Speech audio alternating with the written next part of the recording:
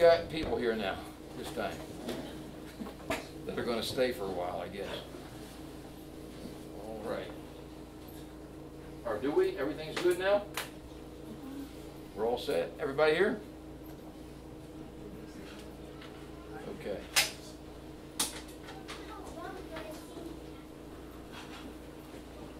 Well, as characteristic of my dear brother Bissol, he called me late last night and told me that we were gonna do this. So, I really wasn't prepared, I- don't like to keep saying that, but that's, I'm just telling you the truth, that's how it happened. But I did have, I had preached on Sunday, the meeting that I knew I was gonna preach, and had prepared the message, uh, on the birthmarks of true believer, and I had remnants of notes all over the place that I did not incorporate into that message as I tried to rework that message, as some of you heard. If you were here, I preached, uh, last Sunday, was it? Was it last Sunday? Uh, I preached a, a, message called the birthmark, or seven birthmarks of a true believer, which I explained to you was a one service message when it originally was prepared, and I still have those notes, just like they were, that I wrote. And then that message became a series of messages. So every birthmark was a full message. And so there were seven of them. So there were seven meetings that were that I would give those birthmarks, seven, seven birthmarks of a true believer. So being, I had million, million one other things to do, but the Lord was burdening me to preach that message, and I know I couldn't do that in one day or one service.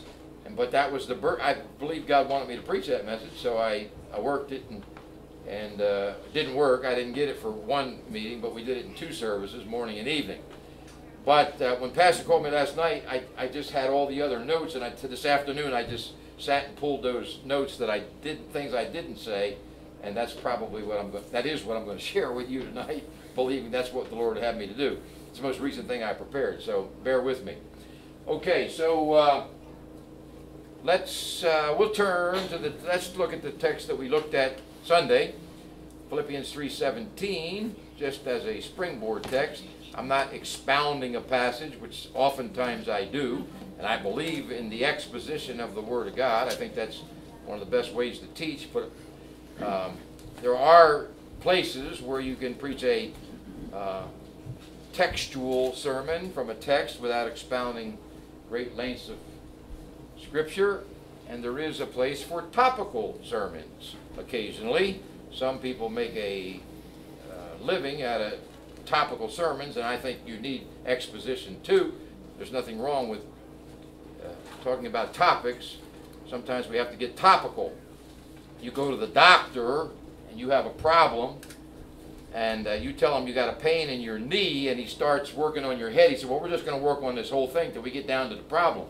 Some people expounding scripture, that's their excuse. They say, Well, we'll get to the we'll get to every issue as we expound the word of God. That's good. I mean, I understand that, and I believe in exposition. But sometimes we got to get topical. If you got a pain in your knee, the doc's got to work on your knee. Amen.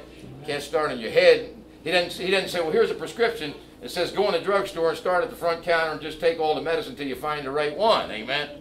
I mean, he gets specific. He writes a prescription for the problem you have, and so sometimes there's a topic that I think needs to be uh, spoken to, and Charles Spurgeon did that. Many uh, great preachers of days gone by preach topical messages, textual messages, textual topical messages, and uh, some get on hobby horses and they rant and rave against that and say it's you know not biblical just to preach topical message, but it is. It's perfectly all right. Jesus talked about topics, and he gave many topical messages uh, as he uh, spoke in the New Testament. And so to say that's wrong would be foolish, but some do. They just get on these things and do that. But anyway, I'm using this as a springboard text. That's the point, and it's not. We're not going to expound Philippians chapter three necessarily, but I want to read uh, Philippians three seventeen through the end of the chapter, like we did Sunday in the morning and the evening, just to remind you again of what it says, and then we'll pray when I'm done reading it, and we'll begin what I have for you tonight. Paul says, Brethren, be followers together of me, and mark them which walk so as you have us for an, an ensample. For many walk, of whom I have told you often, and now tell you even weeping, that they are the enemies of the cross of Christ, whose end is destruction, whose God is their belly, and whose glory is in their shame, who mind earthly things. For our conversation is in heaven, from whence also we look for the Savior, the Lord Jesus Christ, who shall change our vile body, that it might be fashioned like unto his glorious body, according to the working whereby he is able even to subdue all things unto himself. And again, Father, we thank you for your word. And we ask tonight, Lord, that you would subdue our proud, stubborn wills tonight. Help us, Lord, to depend wholly upon you. May our dependence be uh, on you fully tonight, for without you we can do absolutely nothing. As your word says, we would acknowledge that. And so, Lord, uh, this would be for naught and a waste of time, lest you meet with us. Your spirit would speak to the hearts of those you brought to this uh, basement tonight uh, for this uh, time. I pray that, uh, that this time would be profitable spiritually, and Lord, that we glorify and honor you. And I pray that my friends and brothers and sisters and, and I would learn together your word, that it would draw us near unto you, that we might uh, learn things that would help us uh, in our days to come. And Lord, if there be any in our midst that lack the birthmarks of a genuine believer, tonight here in, in this meeting, I pray that your Spirit would convict them of their desperate need to, to trust Christ and believe on Him who is life eternal. We ask that you would deal with us individually, as according to our individual needs, and Lord, uh, especially I ask that you'd speak through me to the hearts of those represented here. Enable me, Lord, to communicate to them the things that you desire for us to learn tonight. We pray in Jesus' name. Amen. Amen. All right, well, I gave you the birthmarks of a true believer. And I shared at the beginning of that message that could be the most important message that some would ever hear if they would have been in that meeting that day because I'm giving you what the Bible says are marks of true Christianity. So many people in this day and age walk an aisle and say a prayer like I did when I was a kid. They make some kind of profession. They give some kind of mental assent to the Word of God. And yet they don't have the marks that the Bible says will be in a, a person's life when they're really born again.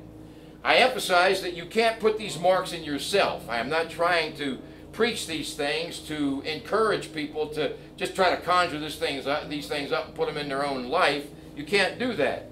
If you don't have them, you need to cast yourself at the mercy of God and trust Him. Come to the end of yourself and serving sin and serving the devil and uh, receive Christ as your Savior. You might be saved. And God when you get genuinely born again, gives you these marks. He puts these marks in you. It's like a, a, physical birthmark. You, if you have a birthmark, you didn't put it there. It was there when you were born. Uh, you didn't put it in yourself. Any mark we have in our that we did ourselves is a scar. Uh, anything you do to yourself to scar your body or something, or something you did is simply a scar and, and uh, not uh, a birthmark. So we talked about the birthmarks of a true believer. I gave you seven marks. On Sunday morning, I gave you three. First one was biblical repentance. We gave you scripture for, for that mark, Luke 13, 3. Jesus said, I tell ye nay, but except you repent, you shall all, all likewise perish. We give you Acts 17, 30, where God commands all men everywhere to what? Repent. And then we look to 2 Peter 3, 9, where it says, God is not willing that any should perish, but that all should come to repentance. We talked about repentance. I told you what it was not. I gave you many, many passages of Scripture to explain to you that repentance is a biblical doctrine, and I told you what it was biblically. I'm not going to do that again. I gave you the second birthmark, a new heart. We need a new heart because the heart is, de uh, is deceitful and desperately wicked. Above all things, that's a pretty awesome statement. It says, Who can know it? We don't even know our own hearts. We don't know them. And so we need a new heart. And uh, we learned in Ezekiel 36, 26 that God said to Ezekiel, A new heart will I give you. He gives that new heart. And a new spirit will I put within you, and I will take away the stony heart out of your flesh, and I'll give you an heart of flesh. Ezekiel 36, 26. And so the second birthmark was a new heart. The third was a family bond or a love for the brethren. The Bible says, Marvel not, my brethren, if the world hates you. The world hates you when you get saved we know we have passed from death unto life. Why? Say it with me. You should remember it. Because we love the brethren. Amen? We know that because we love the brethren. And yet so many people, they claim they have been saved, have a disdain in their heart for the brethren. I'm going to talk about that more tonight. But the third birthmark is a common bond, a family bond, a love for the brethren, for God's people. Which led us to the fourth birthmark, an understanding and an insatiable hunger for the Word of God.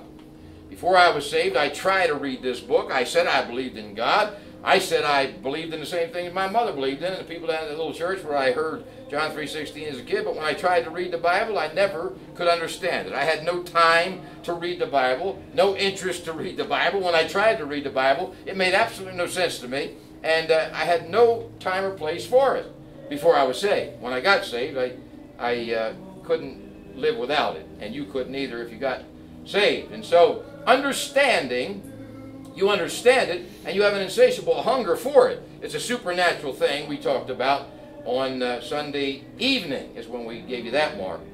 Uh, 1 Corinthians 2.14 said, The natural man receives not things of the Spirit of God, they're foolishness to him. And so unsaved men will not hunger for the word, nor understand it. The words there mean, when it says uh, understand the word of God, it means understand experientially.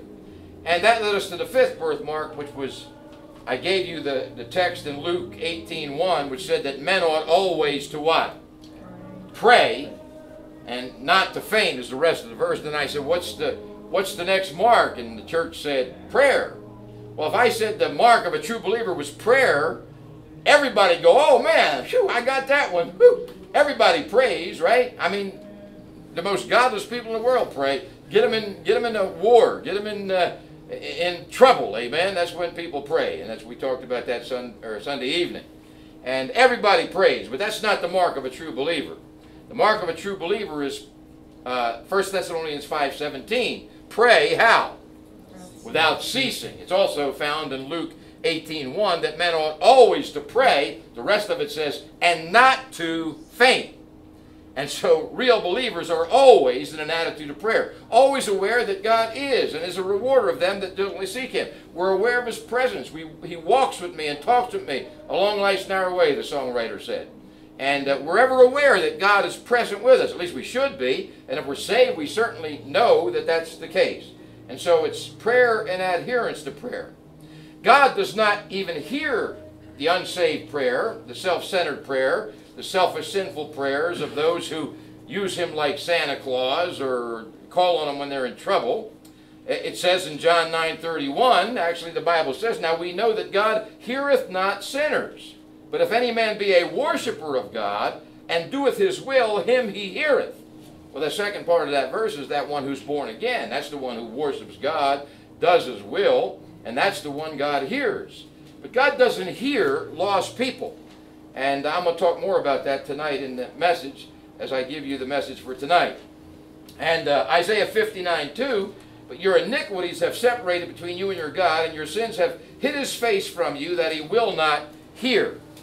And so that is why the prayers of those who profess salvation but who remain lost are not answered. They don't see answered prayer.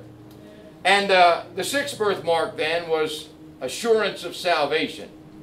Galatians 4 6, and because you are sons of God has sent forth the Spirit, uh, uh, God has sent forth His Spirit, uh, the Spirit of His Son, into your hearts, crying, Abba, Father. Because you are sons. God hath sent forth the Spirit of His Son into your hearts, crying, Abba, Father. That means daddy. And so you have the assurance of salvation if you've been genuinely born again and came to biblical repentance by the grace of God. And then uh, Romans 8.16 on that subject also, assurance of salvation. The Spirit itself bears witness with our spirit that we are the children of God. And so we have the assurance of salvation, and God's Spirit bears witness with our spirit. And then lastly, the last mark that I gave you, the seventh mark on Sunday evening, is an overwhelming burden for others that causes us to share Christ.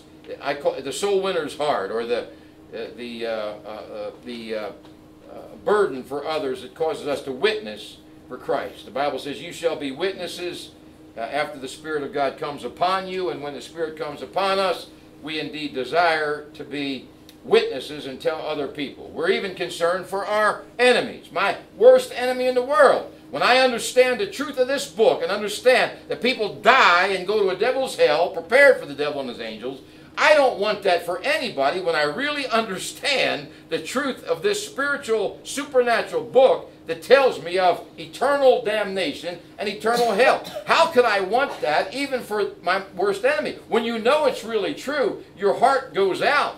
Even if a person treats you wrong, you don't want them to, you don't want anybody to die and go there because you know it's real. Is it really real to you? Well, if you've been saved, it is. Now, folks, these marks are supernatural. Every one of these marks are supernatural. There's nothing natural about them. And as I shared on Sunday, it's very, very, very frustrating when you uh, get on the other side of salvation, you get really saved, and God opens your eyes supernaturally, and then when you relate uh, experientially in your heart to both frames of mind, in other words, you know what it's like to be not saved, and you know what it's like, the difference when you get saved, if you've been saved. And uh, boy, I remember when that happened to me. I spent all my life having made that profession, and I, I thought, I mean, I was sure I was okay. I would have told you when my picture on my track was taken on that day that I was saved. I'd use the word saved. And I, and I wasn't being facetious, I was being sincere. And I would tell you, I did that when I was a kid. I walked the aisle and did what you're supposed to do. I received Jesus as my Savior. And I really, honestly, in an unsaved state of mind, thought that I was saved. When I got saved, I remember I felt like Ebenezer Scrooge. I woke up from the bad dream. The bad dream was over. I didn't have any scripture to relate to. I honestly thought immediately of Ebenezer Scrooge. It was like, I was like silly. I mean, this was real. God was real. He changed my heart. He caused me to not want to spend another minute being what I spent my whole life to be. I, I left everything I lived for. It wasn't just a whim, or I didn't just grow up, or and uh, you know, some people, a lot of people have interpreted that, but God changed me miraculously. And when He did, man, I saw the difference. And immediately I realized there were other people like I was who think they're saved, made some intellectual profession, but they don't have what I got. And uh, I used to look at people and hear them give testimonies and say, I believe the same thing. I got the same thing as them. But I didn't have it at all. I didn't have a smidgen of it. And yet I would say I did, or I was deluded in my unsafe frame of mind. And so it becomes very frustrating when I preach these things because I'm fully aware that anybody unsaved, even people who've made professions of faith, uh, can be deluded and deceived by the, uh, their heart and the, the devil even. So, only God can bring a human being to the other side, into genuine salvation. I can't do that. All I can do is tell others the difference. The major problem is that when I do that, unsaved people take and interpret what I'm telling them with an unregenerate mind and they make of it whatever they desire, like I did before I was saved. Two things make it nigh on to impossible to communicate these things to others. Number one, Satan is very real and works in the mind of human beings. Number two, the unregenerate heart is dead, lost, and blind. I mean, this is the craziest thing in the world. What am I doing going to talk to? I say, Lord, I got to talk to dead, lost, blind people? He said, yep. Go in the world and preach the gospel to every creature. That's what he told me to do. And that's all I got to know about. I got to do what my Heavenly Father told me to do. Amen? But it's very hard because Satan is very real, works in the mind. Look at 2 Corinthians chapter 4, verse 3. 2 Corinthians 4, verse 3 and 4. Satan is very real, works in the mind, and the unregenerate heart is dead, lost, and blind. Here's what the Bible says. But if our gospel or our good news be hid, it is hid, hid to them that are what? Lost. Lost. Okay, so whoever this is talking about is lost. In whom the God of this world, notice the small g of this world, and who is that? I'm, most of you know this, but devil. it's the devil, it's Satan. In whom the God of this world hath blinded the minds of them, see, he works in the mind, that believe not, lest the light of the glorious gospel of Christ, who is the image of God, should shine unto them. And so, Satan's very real, works in the mind. God told me that. The unregenerate heart is dead, lost, and blind. Satan is blinding the mind, it says here. The God, it says it's hid to them that are lost. And uh, Ephesians 2 1, you don't have to turn, you may if you like, says, You hath he quickened who were what? Dead. Dead in trespasses and sins. So, in an unsaved state of mind, we're dead spiritually. That's a hard job for Christian people to talk to dead, lost, blind people, and, and we can't do anything. All we can do is obey God and do what He, do, do what he tells us to do. Unsaved people are going to continue to do what unsaved people do. They're going to interpret what we say in their own frame of mind. And if it's an unregenerate state of mind, I've heard, I've had people in the church come and they got all kinds of explanations for why I left my career. Some say, "Well, you weren't really that, you weren't really that big in show business, were you?" If that would have mean anything really or not. I mean, uh, Christian people would come and it's like hope against hope. That's why he left. He because he really didn't have anything in the world. I mean, Anybody that had the same thing happen to them as happened to me, they don't have to, any question as to what happened to me. Amen? Amen? They don't have to worry about how big I was. I was about five foot ten and a half. I weighed about 155 pounds back then, much more skinny and emaciated from the things I was doing and the way I was living. But uh, this idea of somebody's big, or they had all kinds of reasons. They said, well, you got old and decrepit and you couldn't make it anymore in show business. Yeah, I was 24 years old. I was ready for the nursing home. Amen? I mean, at the height of my career. I mean, my career was going pretty good. But you see, Christian people all over my, all through my life, have tried to explain, and when they do, I highly doubt that they had the same thing happen to them as happened to me. You didn't have to be a rock and roll guy. You didn't have to come from my past. But if you had what happened to me happen to you, you got no question what happened to me, or the Apostle Paul, or anybody that got saved. Amen. Because the same thing happened to you. And that was called a Damascus Road experience, which I advocate every real Christian has. Every real Christian. You're passed from darkness unto light. You're passed from death unto life. That's a major, major change in your life. And if it's happened to you, you know it's happened. If you're not sure, then maybe you got intellectual knowledge and you never really had a Damascus Road experience and never really got saved. I don't know, but uh, I am told to give you this message. Ephesians 2 5 says, Even when we were dead in sins, hath God quickened us together with Christ. By grace are ye what? Saved. saved. Amen. Now notice, by grace are you saved. Colossians 2.13, And you, being dead in your sins, and the uncircumcision of your flesh, hath he quickened together with him, having forgiven you all trespasses John 5 24. These are notes that I had that I did not incorporate into the Sunday message, and I think they're very important. Jesus said, Verily, verily, I say unto you, he that heareth my word, and believeth on him that sent me, hath everlasting life, and shall not come into condemnation, but is passed from what? Death unto life. That's a major cataclysmic change, amen? And Jesus said it. Ephesians 4.18 having the understanding darkened, being alienated from the life of God through the ignorance that is in them because of the blindness of their heart. Now, again, I'm talking to you about those things I just mentioned earlier. Satan's very real, works in the mind, and the unregenerate heart is dead, lost, and blind. These scriptures bear that out, and that's plenty enough to make you realize that what I just said is scriptural. Now, you need to listen carefully to these biblical marks and be honest with yourself as to whether you really possess them or you don't. And I gave them on Sunday. I just gave them back to you again. And people need to have these things shown to them that are professing salvation because 2 Peter 1.10 says, Wherefore the rather, brethren, give diligence to make your calling and election sure. I gave you this verse on Sunday. For if you do these things, you shall never fall. So we're exhorted to make our calling and election sure. We need to be checking ourselves as individuals. Don't worry about the guy next to you. You got to ask, do I have these marks? Don't worry about other people. Unregenerate. The devil will get people looking at somebody else saying, well, uh, you know, look how he lives. You live better than he lives. And unsaved people do that. And they'll look at people calling, how do you know the guy that's calling himself Christian is really a Christian? Don't worry about him. Make sure you are. Make sure when you die, you go to heaven. Amen? You don't know who you're looking at, stumbling and falling. Maybe it's a believer stumbling and falling. Maybe it's not a believer. But the devil's deluding you and fooling you. You need to look at you because it says in the Word of God, 2 Corinthians 13 5. Look at that one. I look at it again. I gave it to you Sunday, but this is very important. And you need to share this with others also. 2 Corinthians 13 5. The first two words, what do they say, folks? Say it out loud, gang. Second Corinthians, Ken got it. 2 Corinthians 13 5. Let me hear you say the first two words. Examine yourselves. Examine yourselves. Now, is that what I'm telling you to do? That's biblical, amen? whether you be in the faith, prove, that means test, try, discern your own selves.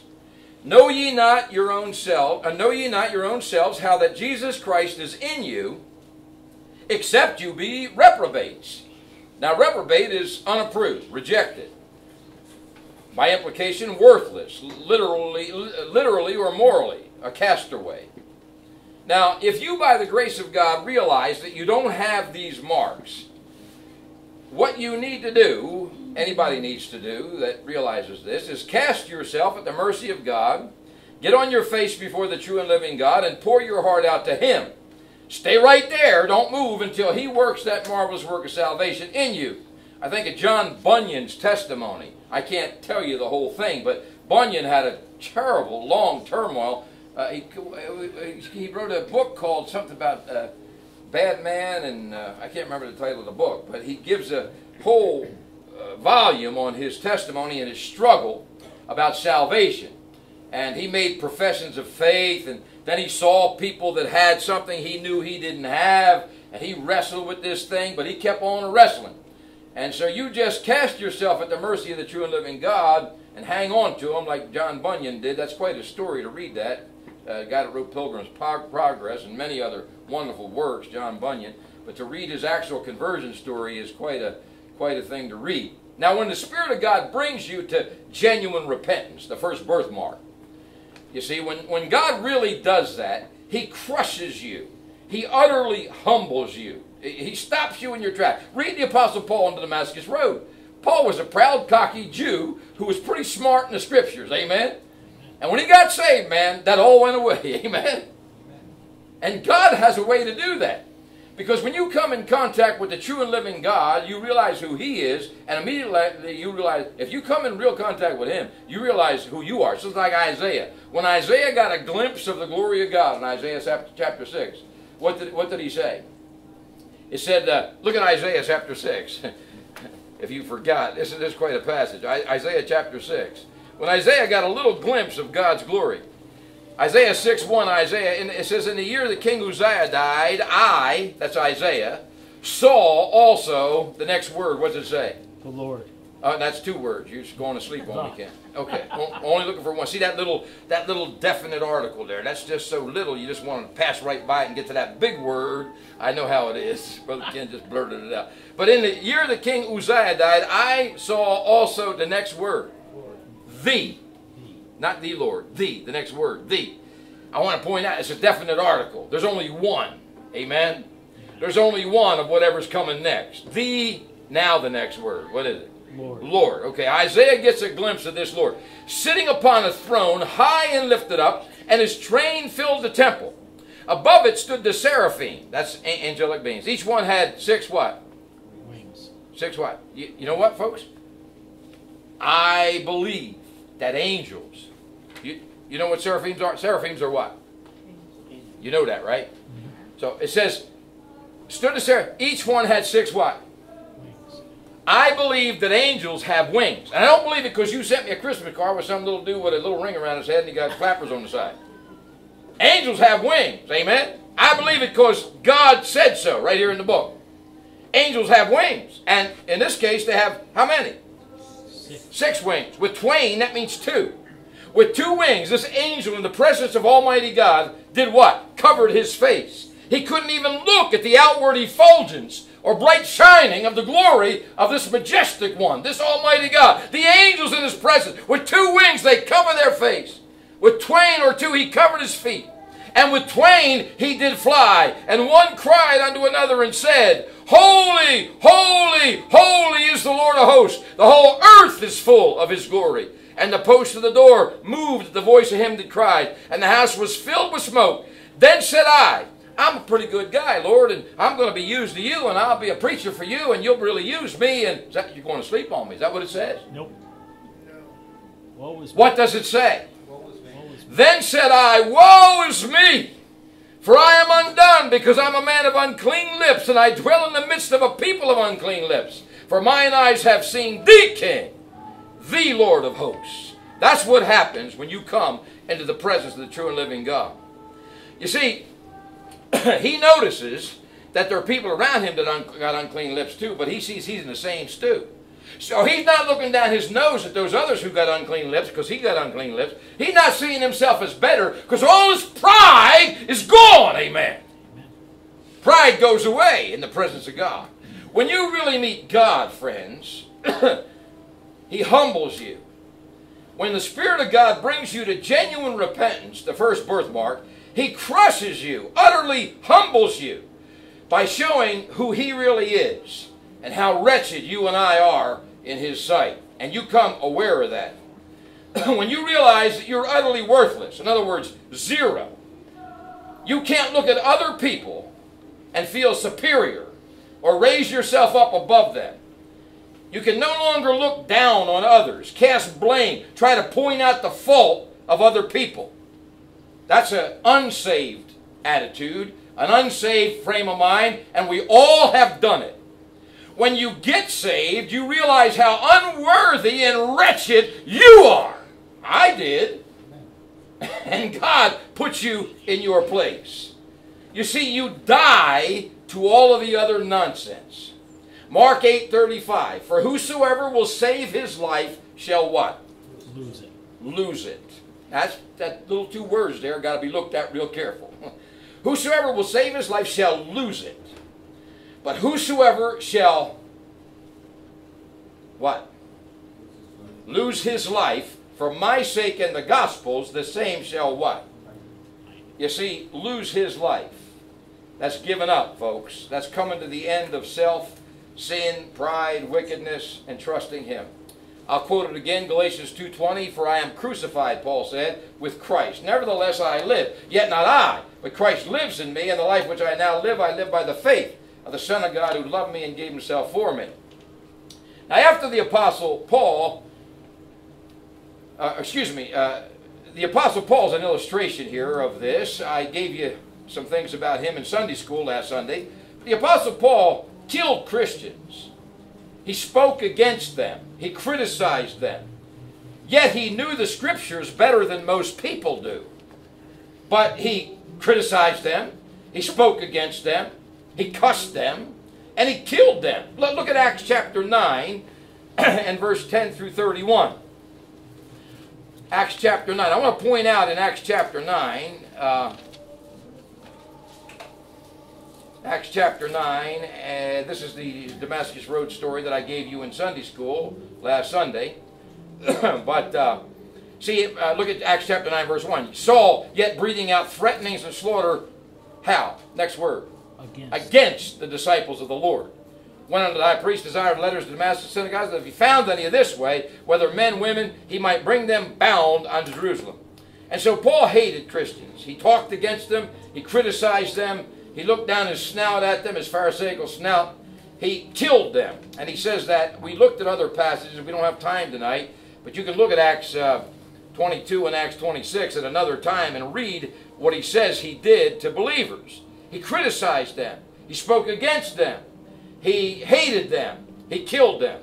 But anyway, in uh, verse 10, he gets saved there. And then in verse 10, there was a certain disciple at Damascus named Ananias. And to him said the Lord in a vision, Ananias, and he said, Behold, I am here, Lord. And the Lord said unto him, Rise, go to the street which is called Straight, inquire at the house of Judas for one called Saul of Tarsus.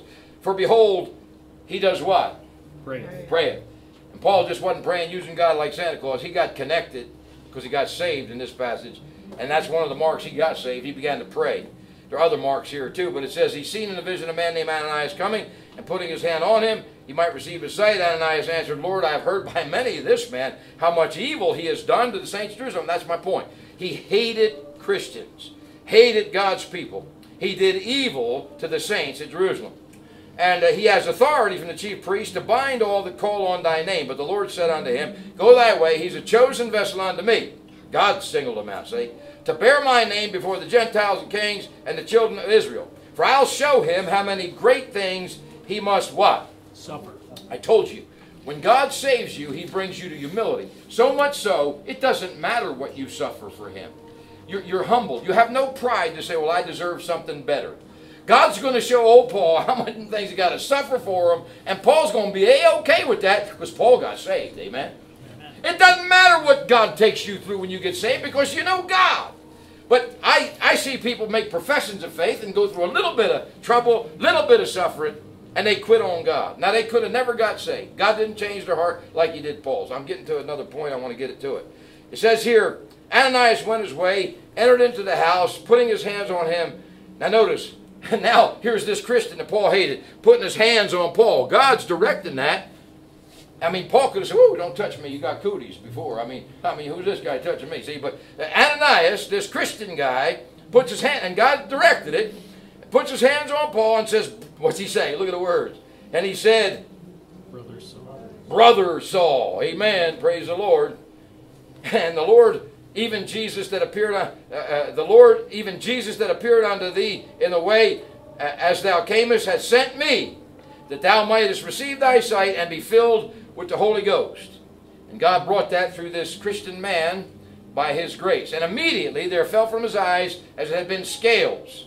Now that could be, uh, that's actual physical scales, but it's also scales of blindness in the spirit, spiritually, as Paul was blind spiritually.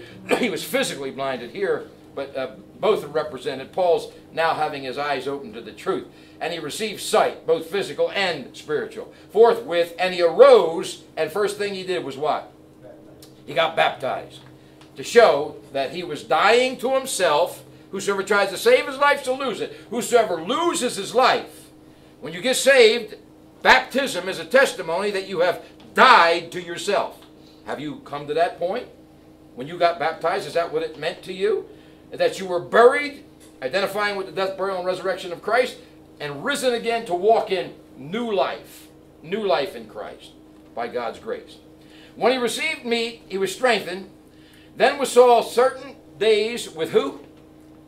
Disciples. Look at the text. Then was Saul certain days with the. Disciples. Wait a minute now. He hated them people. And he was now many days with the disciples that read the message. Things changed, amen? Amen. Amen? And straightway he did what? Preached. He preached Christ in the synagogues, that he's the Son of God. But all that heard him were what? Amazed. Amazed. And said, Is not this he that destroyed them which called on the name of Jerusalem? His, he wanted to destroy them. He cussed them out. He criticized them. He put them down. That's what unsaved people do. But now he's walking with the disciples. Some of the disciples are leery of him. He did it so that's how violent and vicious he was against Christians. Some of these people still not sure.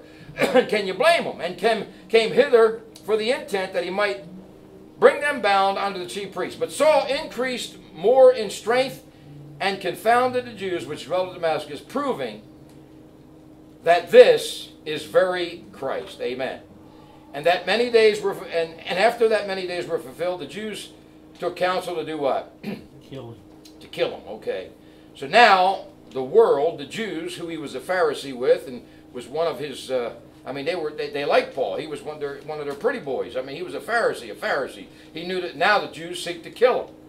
That's how it changes. See, but their laying await was known of Saul, and they watched the gates day and night to kill him. Then who? Ah, the disciples, his brothers, his new family. See, now he's hanging out with the disciples. He ain't criticizing them anymore, amen? I mean, these guys are going to risk their lives. They took him by night and let him down the wall in a basket. Because that's what brothers will do. They'll even risk their own life. The Bible says that we ought to lay down our lives for the brethren. And that's what we're seeing, live and in color here. When Saul was come to Jerusalem, he uh, essayed to join himself with who? Disciples. disciples. That's what he wanted to do, but they were they were all afraid of him. Some of these people are human beings too. A, see, they were scared of him and believed not that he was a disciple. They didn't believe him. They thought he was phony. That's that's how bad this dude was. I mean, he had to be real bad for these people not to to, to do this. And uh, I can't make a, a big enough uh, thing about it here. But Barnabas took him and brought him to the apostles and declared unto them how he had seen the Lord in the way, and that he had spoke to him, and how he had preached boldly at Damascus in the name of Jesus. And he was with them coming in and going out at Jerusalem. And uh, uh, and he spake boldly in the name of the Lord Jesus Christ. That's what happens when you get saved. See, I talked about witnessing, and, and that's one of the marks, and that's what he's doing. And the, the, and disputed against the Grecians. But they went about to slay him. They tried to kill him. Which when the brethren, when the brethren knew, they brought him down to Caesarea and sent him forth to Tarsus. Then had the churches rest throughout all Judea and Galilee and Samaria, and were edified and walking in the fear of the Lord and in the comfort of the Holy Ghost, and were multiplied. Amen. And so Paul has a new relationship to God's people, the disciples. He doesn't criticize, he doesn't speak against, he doesn't kill them anymore. He loves them. And that's what happens when you get saved. Now, I want to give you the signs of counterfeit conversion. That's what I'm doing. That's what I'm doing, and that was my extra notes. Turn and read 2 Timothy 3 1 through 5. 2 Timothy 3 1 through 5. 2 Timothy 3 1. This know also that in the last days perilous times shall come. For men shall be lovers of their own selves, covetous, boasters, proud, blasphemers, disobedient parents, unthankful, unholy, without natural affection, truce breakers, false accusers, incontinent, fierce despisers of those that are good, traitors, heady, high minded, lovers of pleasures more than lovers of God. And that list of things I just read, these dudes have a form of what? Godliness. They have a form of godliness. Now, you might have read this a million times, but this is religious.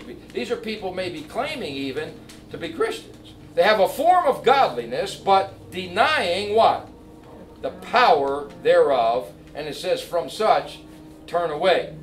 Now, verse 7 of that text, these people are ever what? Learning. learning and what?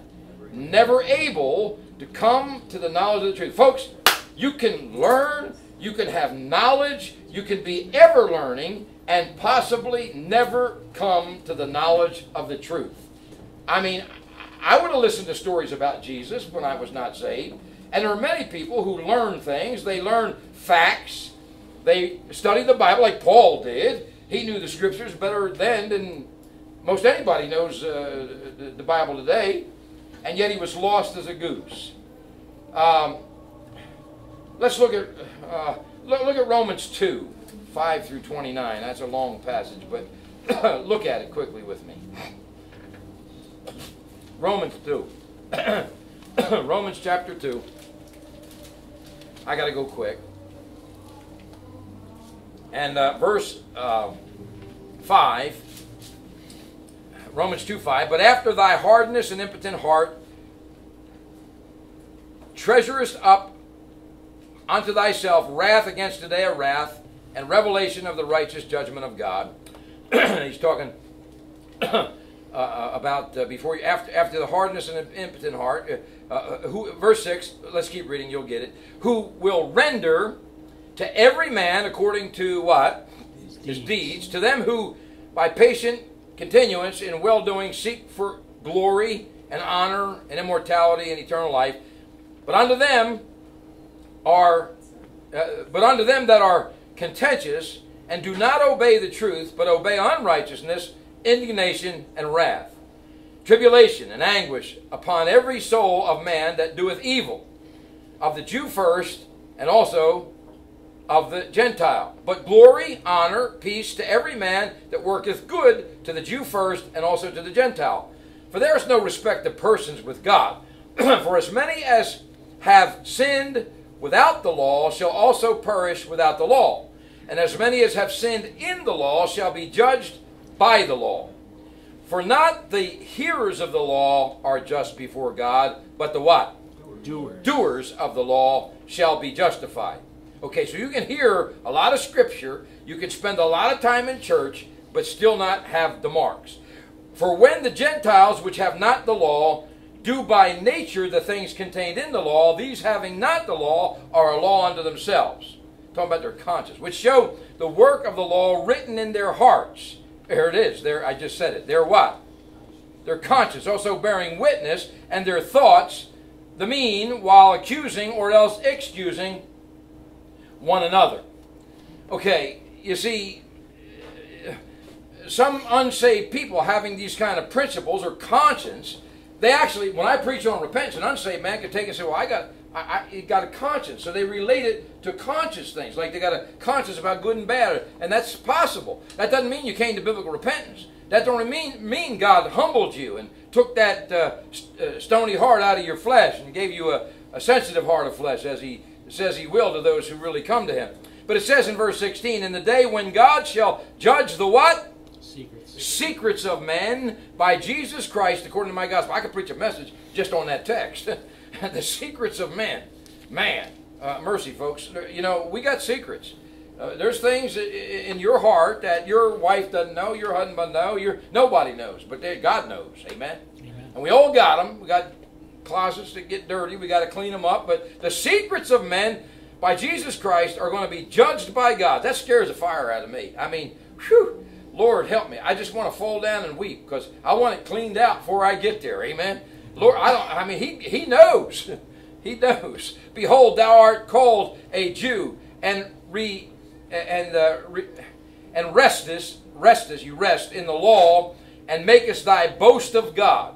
Okay, I'm talking about these are Jews, but I'm talking to people who make their boast that they got the mark, they're saved, and knoweth His will, and approveth the things that are more excellent, being instructed out of the law and are confident that thou thyself art a guide of the blind, a light of them which are in darkness. See, these people pride themselves that they are uh, they're godly people and they can guide other people and and uh, they can help people that are in darkness see. An instructor of the foolish, a teacher of babes, which has which has the form of knowledge and of the truth in the law. Thou therefore which teachest another, Teachest thou not thyself?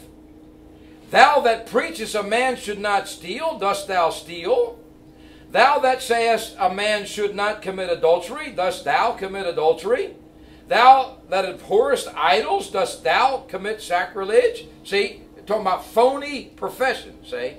That's what it is. Thou that makest thy boast of the law, uh, through breaking of the law, dishonorest thou God?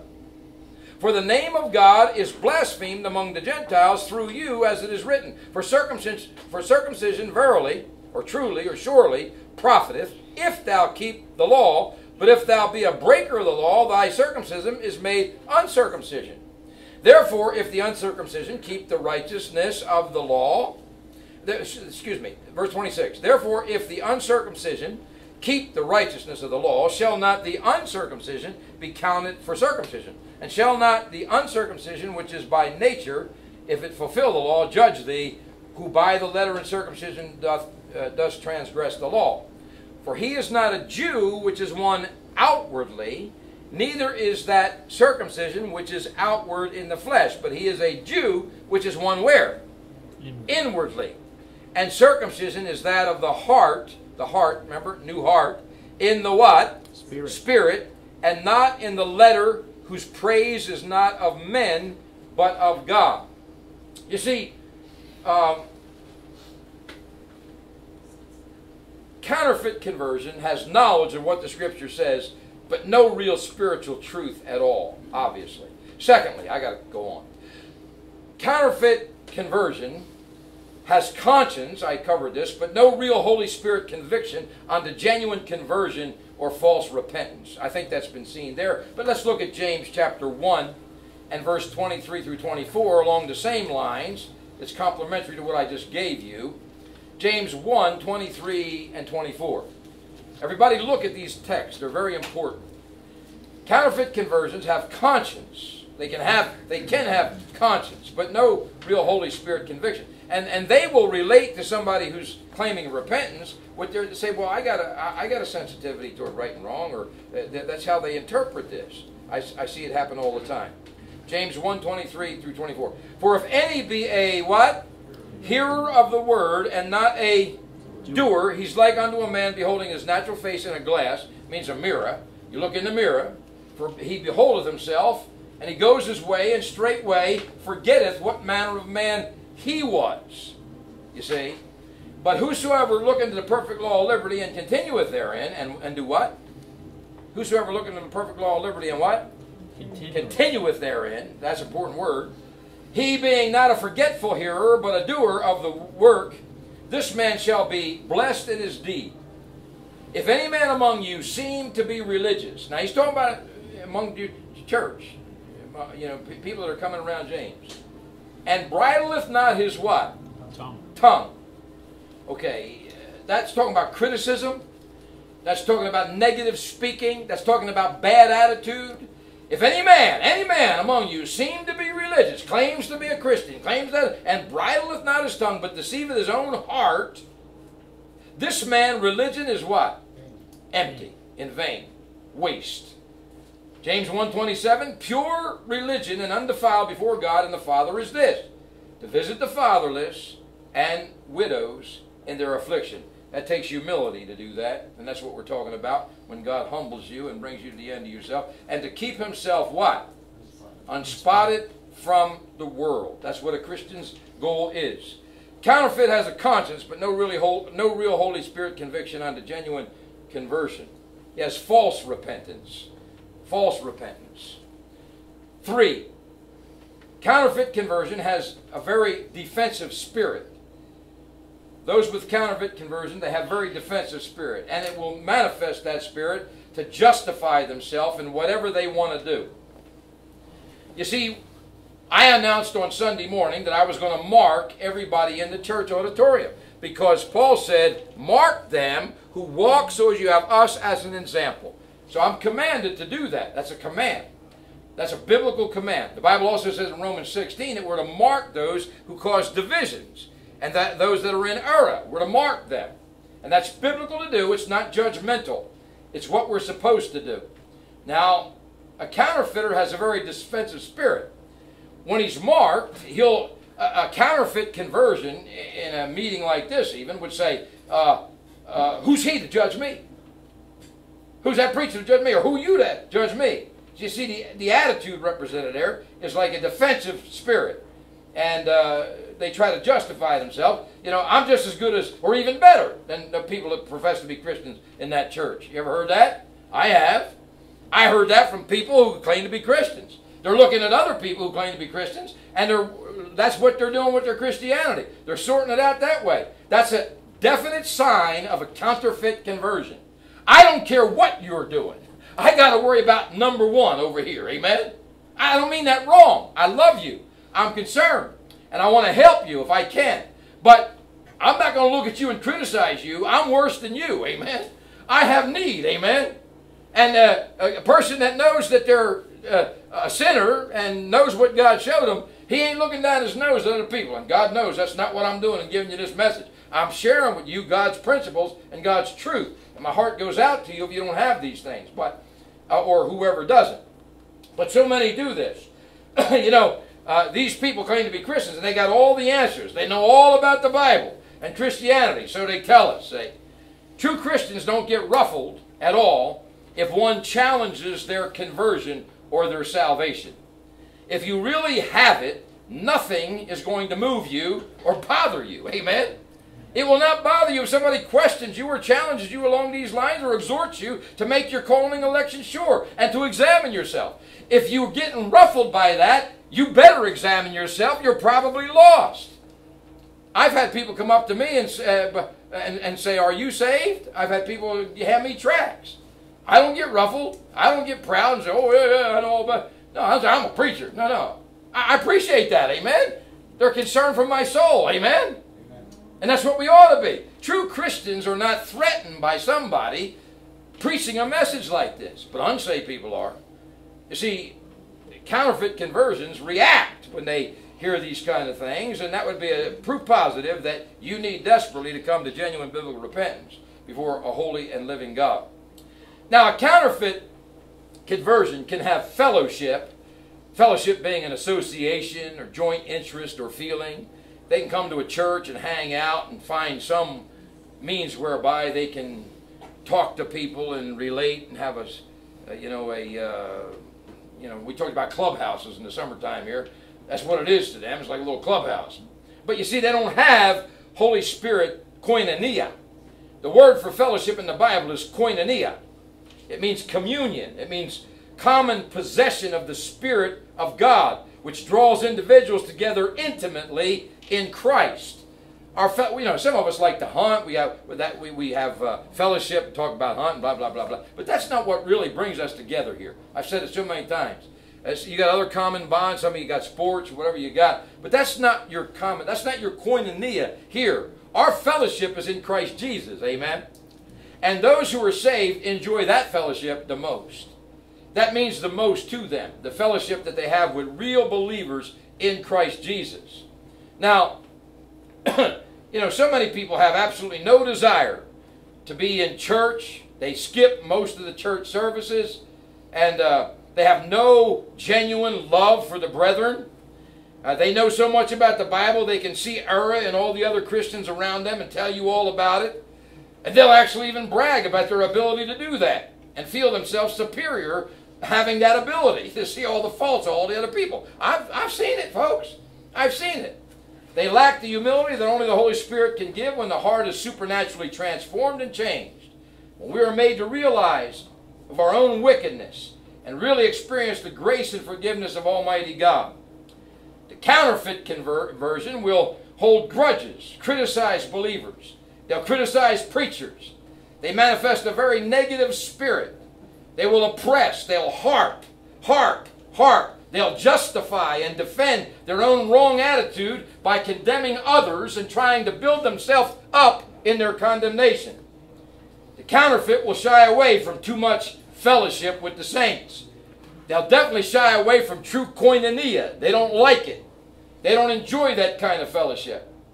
They will not attend church meetings, programs, banquets, get togethers faithfully as genuine believers do around their fellowship in Christ Jesus. Simply because they'd ra- really rather not be there. Uh, they have no real desire to be with God's people, studying God's Word, or communing with the saints in spiritual fellowship. See, when you do, when a human being does or learns something like Pavlov's theory, the, the, uh, the old uh, dog with the ringing the bell, you know, when you do something or learn something out of rote catechism, it is usually a burdensome task, the thing that you learn. And if the opportunity comes for you to disregard that task, you will. No one can place in you a desire and a true love to do the will of God but God Himself. Nobody can do I can't do that. And I learned that a long time ago. I have to tell you what God says, but I can't place this in you. Those who God works in to will and to do of his good pleasure. They want to be in the Word of God. Amen. They want to be in fellowship, koinonia. They want to be in church whenever there is church. They want to be there.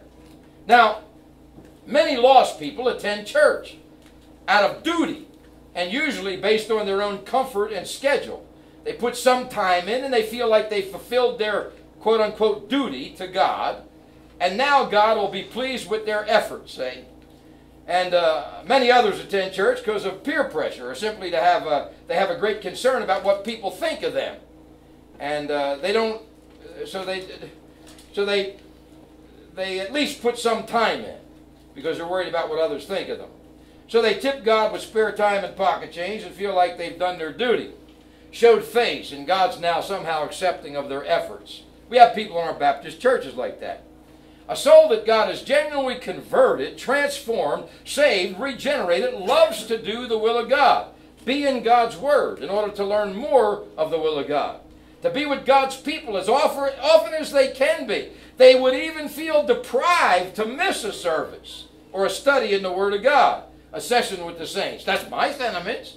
I, if I had to miss, I'd feel deprived. I feel like I should have been there. Not because I'm worried about somebody thinking about me. Amen?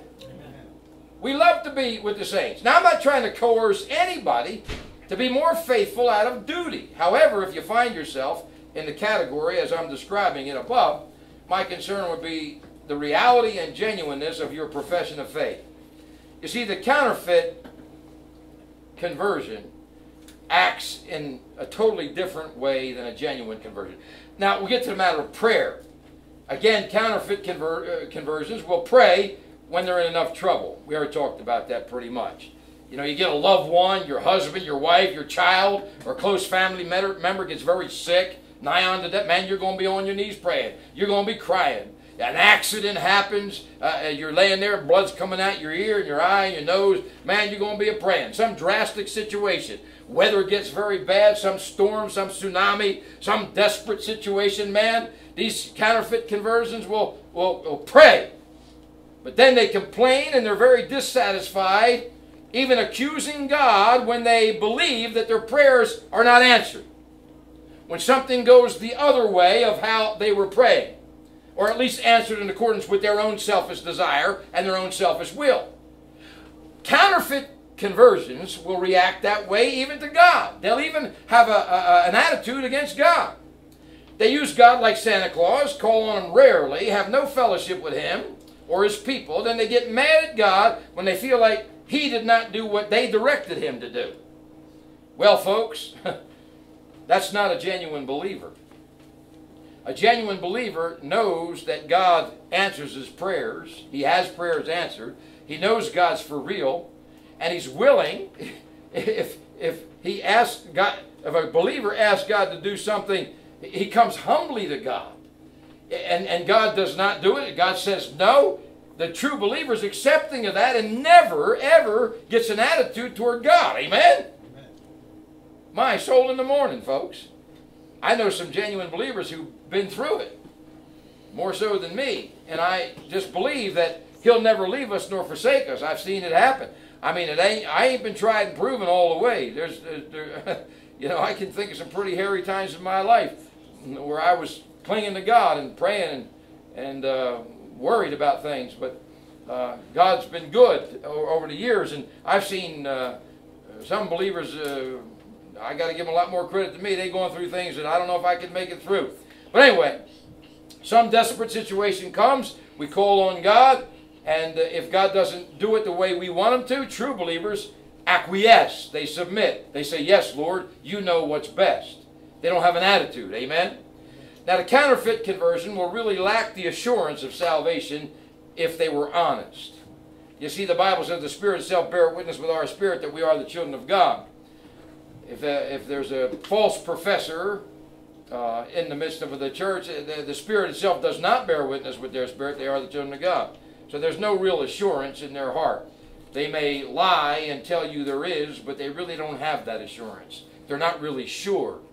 And that would be, if, if you have that situation, you need to take hold of the Lord and uh, talk to Him and wrestle with Him. And then the last birthmark we talked about was having a burden for others. The counterfeit conversion has really not ever clearly shared the gospel with anyone. They've heard about winning souls, they've heard about witnessing, they hear it, they might have tried to say a few religious words to somebody, but the counterfeit conversion really has never clearly shared the gospel with anyone. And most have never led anyone to Christ. Never. They'll make all kinds of excuses as to why this is true, and they'll justify this lack. You know, million and one excuses you can make. But uh, I don't have the gift of gab. My personality's not like yours, blah, blah, blah, blah. If the Spirit of God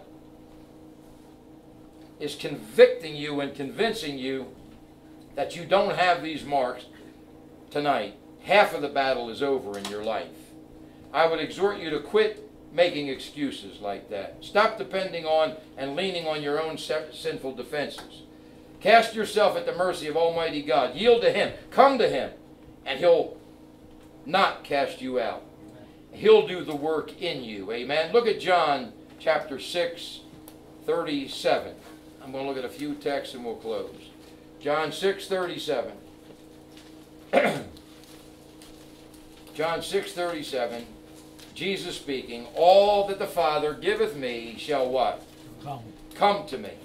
And him that cometh to me, I will in no wise, that means no way, no way, that's what the word means. It's an old English word, means no way cast out. It's a very emphatic word. so I, again, exhort you to cast yourself at the mercy of Almighty God. Yield to Him. Come to Him. Stay right with Him until He gives you that assurance. Tell Him that you're a phony like I did about 40, how many, 40 years ago, 40 some years ago. 1973, how many years ago is that? 42. 42 years ago. I said, Lord, I'm phony as a $3 bill. I don't know you. And I received Christ as my Savior, genuinely, sincerely, by the grace of God. But uh, him that cometh to me, a very familiar verse, I'll in no wise cast down. Now, John 6, 66, from that time, it says, many of his disciples went what? John 6, 66, you there? Many of his disciples went back. Now these are these are counterfeit conversions. they went back and they did what? They walked no more with him. Phony as a three dollar bill. That was me many years ago.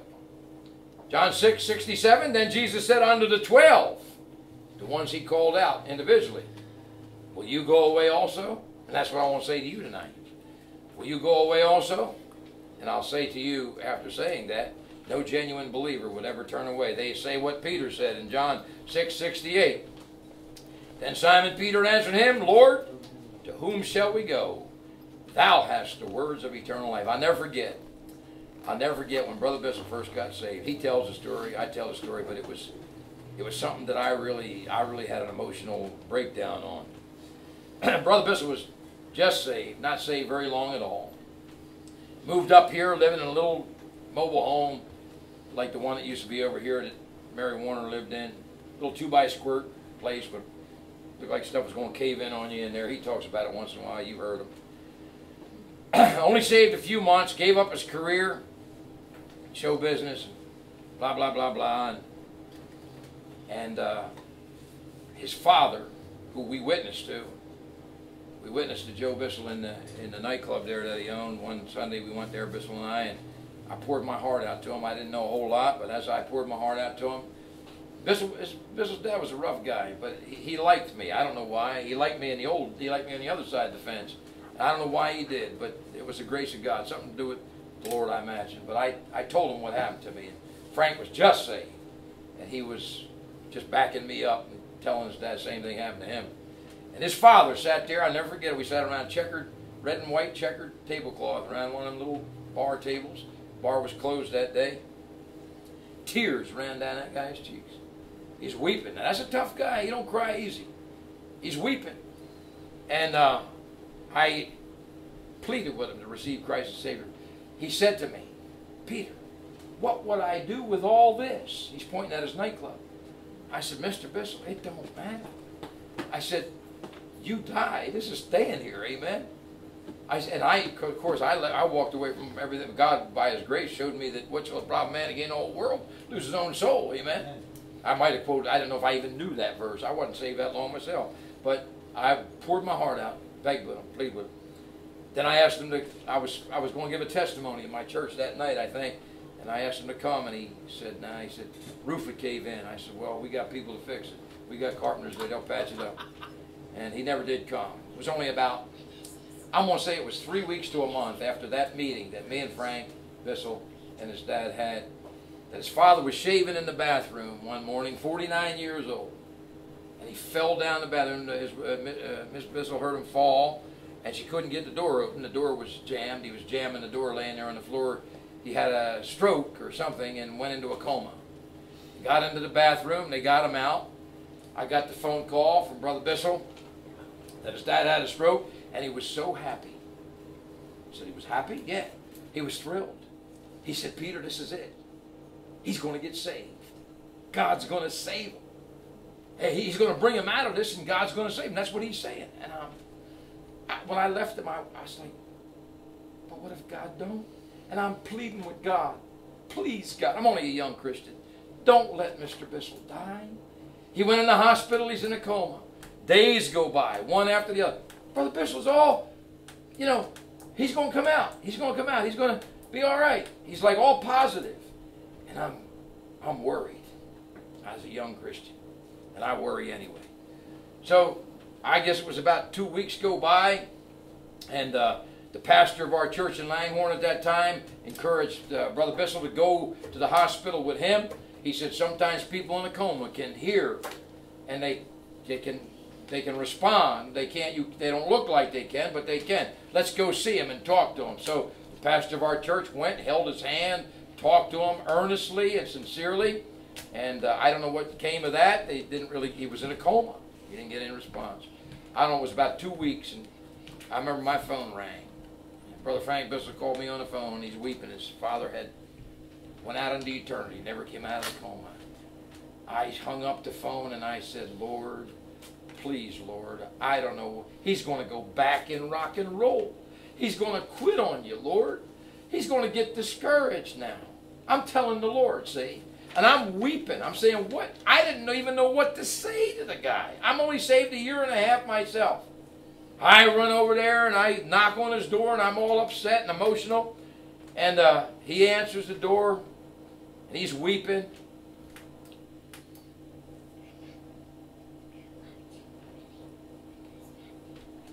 He's only saved a few months. Put his arm around me. He said, It's okay, Peter. God knows what he's doing. Amen. He got saved, see? And I've observed that in his life all these years. That's what a Christian does.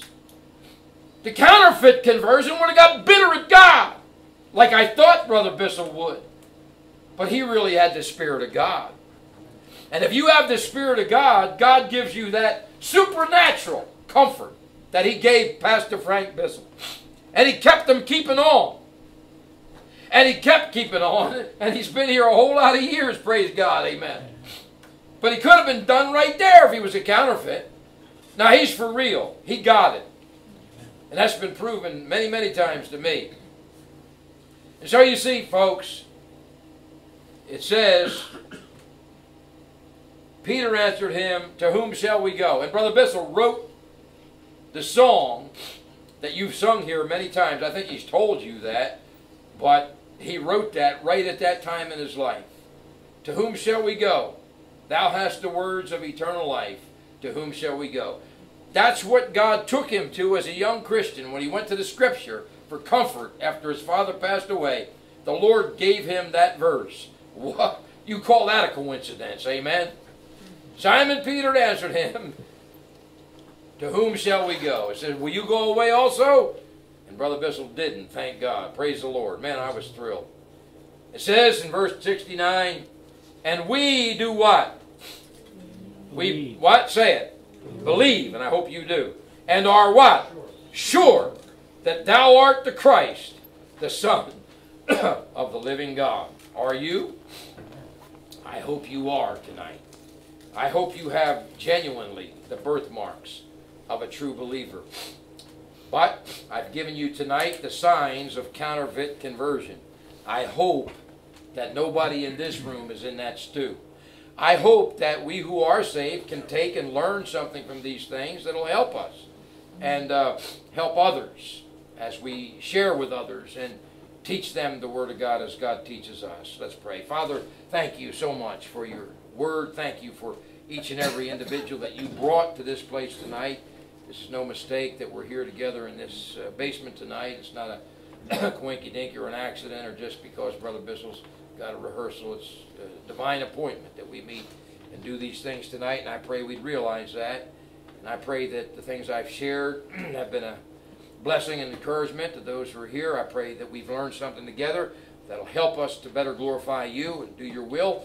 Father, I pray sincerely if there be anybody in our midst that does not have the birthmarks of a genuine believer, but is phony or made a false profession, that you would uh, deal with that heart, break them, mold them, make them, and uh, give them uh, joy in their heart and the realization that uh, they are indeed saved and their sins forgiven. They're on the way to heaven. I ask that you'd meet with us now as we close in a special way. In Jesus' name I pray. Heads bowed, eyes closed, nobody looking around. And I would assume most of you here tonight are believers in a Sunday evening service like this, but I don't want to preach like that and not give an opportunity. If there's anybody here that does not have the birthmarks, that may be realizing by the grace of God you're phony as a $3 bill, and uh, God's convicting you and you're troubled from within, then bow your head, close your eyes, and get a hold of the Lord. I'm just going to encourage you to do that. It's not between you and me, it's between you and the Lord. And He is. He's real. He's definitely here. Definitely will save you if you'll cast yourself at His mercy. It says, All that the Father give to me shall come to me, and him that cometh on no wise cast out. So I'm asking you to genuinely come tonight. Wave the white flag. Get rid of all pride. Get rid of all nonsense. Get rid of all sin and lay it at the cross. Say yes to the Lord Jesus Christ who said yes to the cross for your sin. Maybe some of you are saved, you have the marks, and you've gotten off the beaten course. The devil's good at that. He got you all tangled up, mixed up. Maybe you've been out of the will of God. You've gotten backslidden in sin. Maybe you've been uh, critical of uh, other brothers and sisters or preach. You, it can happen to a real believer. I mean, Jesus said to Peter one time, "Get thee behind me, Satan." We can get in pretty bad straits, can't we? so, if you're a Christian and God's burdening you with some matter in your life where you've gotten off course, I don't know what it is. Not my business, but I'd love to see you get it squared away because you'll be blessed and God will use you better if you confess your sin. So I'm begging you, I'm pleading with you. I'm not going to ask you to come forward, raise your hand. You got to raise your heart before God. But I am asking you, if you're not sure you're saved, to get sure. You take a hold of God and pray and ask the Lord to give you that uh, genuine repentance and new heart, love for the brethren, understanding, insatiable desire for the Word of God, prayer and adherence to prayer, assurance of your salvation, and uh, genuine concern for others, even your worst enemy. Uh, when I got saved one time, I, I, I wouldn't want my enemy to get saved because I really didn't understand what that means. I didn't understand what it means for a guy to die and go to hell. Now I do. And so people can get pretty ornery and get pretty nasty and get pretty rough, but they don't know what's coming. They really don't. When our hearts got to go out to them, folks, if we believe this stuff, we got to keep telling them because it's real. In the morning, we're going to be there. And so I'm asking you to take a hold of the Lord. Deal with whatever your individual need is. Father, please, Lord, help us to make decisions tonight that'll change our lives help us to be better used to you. I ask that you'd bless these, my brothers and sisters, to go the different ways and, and uh, draw us near unto yourself. We certainly pray, Lord, for the upcoming presentation, what Brother Bissol's getting ready for upstairs. Thank you for him. We pray for his physical um, problems that he's having, that you'd help him, and uh, all the work that he's doing, Lord. I pray you'd uphold him if it be your will. And uh, Lord, that your will would be done in all things, that you might uh, save some by your grace, add them to your church in accordance with your will uh, through these things that we're uh, going to do upcoming. I pray that we'll honor and glorify you, Lord, to direct us, hedge us about, help us to stay in your will. And, and Lord, uh, I pray that you just, uh, again, work in us to will and do of your good pleasure. We ask in Jesus' name and for his glory. Amen. Amen. You're dismissed.